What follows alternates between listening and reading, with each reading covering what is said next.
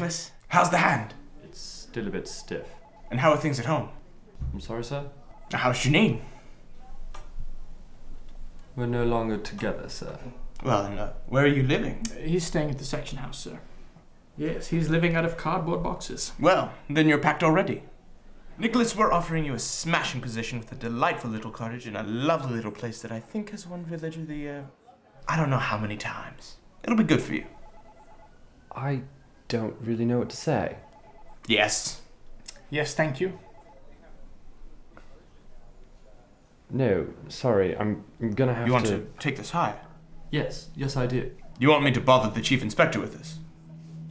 You want me to get the chief inspector to come all the way down here? Yes, I do. Okay. Kenneth? Hello, Nicholas. How's the hand? Still a bit stiff. Chief Inspector. Keep your seat.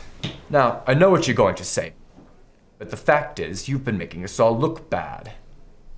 I'm sorry, sir. Of course, we all appreciate your efforts, but you've been rather letting the side down. It's all about being a team player, Nicholas. You can't be the sheriff of London. If we let you carry on running around town, you'll continue to be exceptional, and we can't have that.